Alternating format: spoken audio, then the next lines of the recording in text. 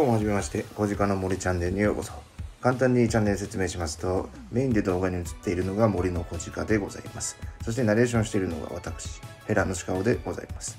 この動画初投稿になりまして、見づらい箇所などあると思いますが、今後ね、投稿していく上で腕前を上げていきますので、優しく見守っていただければと思います。それでは、本編へどうぞ。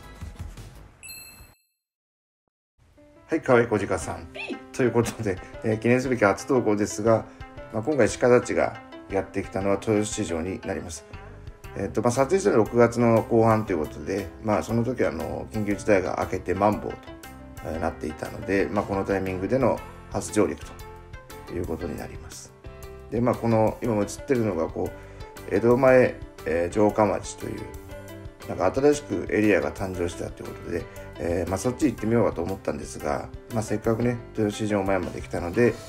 まあ、次の機会にということで今回は、えー、ま豊洲市場内に行ってみたいと思います。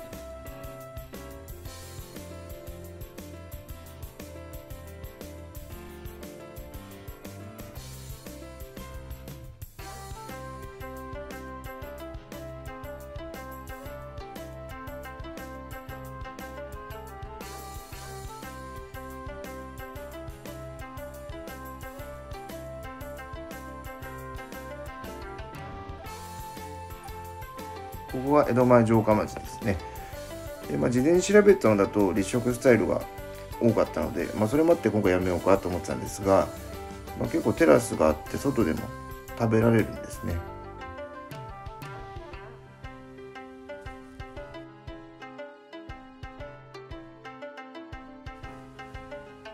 ここに貸し自転車があって、まあ、これ乗ってこの後お台場に行こうかみたいな、えー、ちょっと会話してたんですが、まあ、あの2人とも方向音痴なもんで、えー、ちょっとやめておきました。でここはねなんか何屋さんなのか、えー、ちょっとよく分かんなかったんですが、まあ、ちょくちょく小鹿さんがここ取れと、えー、言ってるんでね、まあ、全然取りますけど。でそんなんしてるとねどっから上がっていいかよく分かんなくなっちゃうんですよね。道迷っちゃうんで。でまあどうにかね上に上がれたんで、えー、豊洲市場内を目指して歩いてますがまあなんかいろいろエリアがあって一つの建物の中に全部が入ってるってわけじゃなさそうなんですね。これはねもうすでに迷ってます。消去法で管理棟だなと思いもう今進んでます。小鹿さんがねここ取れってんでねとあのちょっと長めに撮ってるんですが、まあ、マンハッタンみたいと言ってるんで、まあ、撮りましたがどうですか？こんな感じでしょうか？マンハッタンは。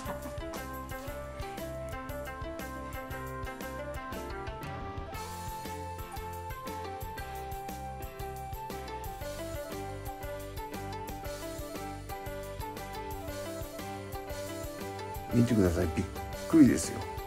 今昼時なんですが待ち人ゼロでもう完全にこんなイメージしてたんで驚きました。でまあ店頭でね呼び込みしてる人たちもいますけどやっぱ人通り自体がすごい少ないですよね。で今回あの岩佐寿司さんというところに行きたいんですがなかなかこう見つけられずで、まあ、もしかしてと思って検索したら、えー、と別の塔にあるということが判明しました。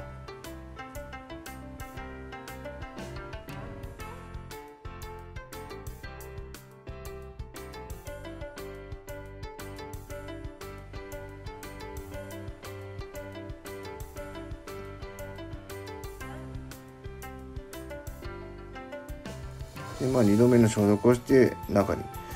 でこっちの方がまあ、入り口の入ったとこからなんか人が多いなっていうのが、えー、感じましたね。でもうすでに岩佐寿司さん映ってるんですよ。あのオレンジののれんのなんですが、まあ、やっぱりこう見つかんないんですよね。なんでこう地図でこう今確認をしていると。さすがだよね。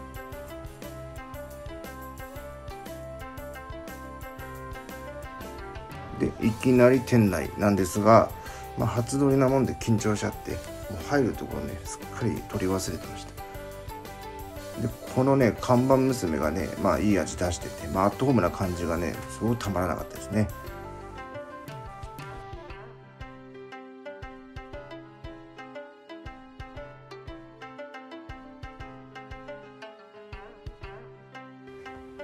僕は握り寿司セット頼んで小鹿さんがいくら丼頼みまして。でもっと後で気づいたんですが撮影するにしてはめちゃくちゃいい席だったなと。でカメラをもっと上に上げれば板前さんが映ってて、まあ、工程全撮りできたなと。いや勉強になりました。と思ってるといくら丼から来ました。これね握りからなんか一貫ずつこう出しつついくら丼みたいな感じで来ると思ったんですがあのいくら丼の方がね早く来ましたね。すごいですよね。こんなに手拭くんですからね。やっぱ女性は綺麗好きな人が多いですかね。これ多分2回ぐらい拭いておしまいですから。ね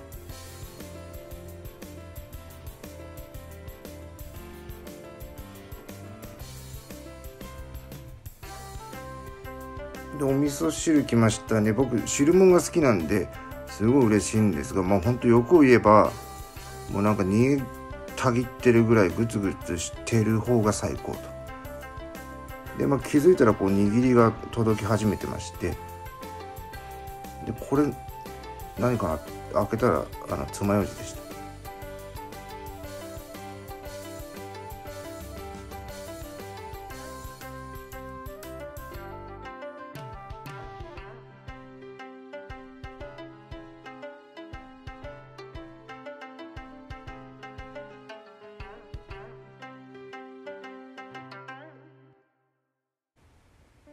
いや嬉しそうな小鹿さんですね。よかったよかった。なんか見てたら、えー、寿司だいぶ届いててでも板前さんがゆっくり食べてねとなんか気を使っていただいて申し訳ないです。で小鹿さんあのエビがね、えー、好物なんでエビをあげました。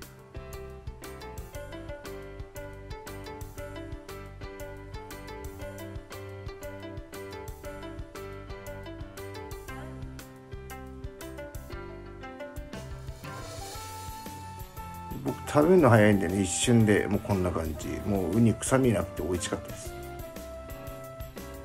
でね今ここで気づいたんですけどあこっから調理工程取れるじゃんと。YouTube でこんな見たことあるじゃんと思って。でこれは多分あのいくら丼作ってるところなんですけどあの握り寿司はさっからあの切り分けたりしますよね。でもいくら丼は準備万端だから、まあ、ある意味乗せるだけで提供できるんで、まあ、握りより早いのは、まあ、当たり前だったんですね。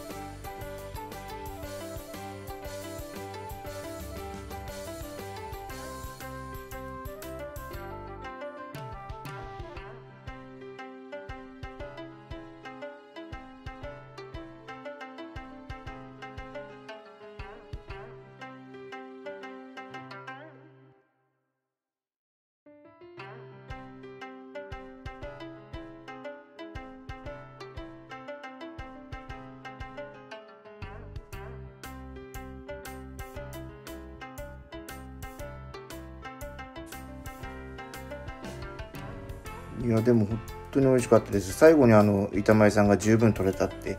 あの取れ高まで気にしてくれましてもう撮影下手だっただけで十分取れました。ありがとうございます。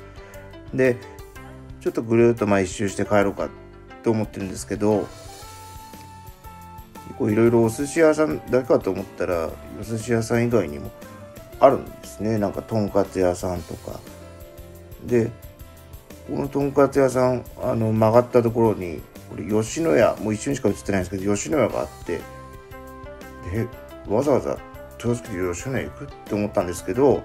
あの後々知り合いから聞いたらあの豊洲の吉野家は他の吉野家よりも美味しいと。格別に美味しいと。で一回行った方がいいっていうレベルで美味しいって言ってたんでもしねこれ吉野家目当てにまた来るかどうか分かんないですけどそばお台場とかそこら辺で遊んでた時に、まあ、ちょっと行ってみようかなと思います。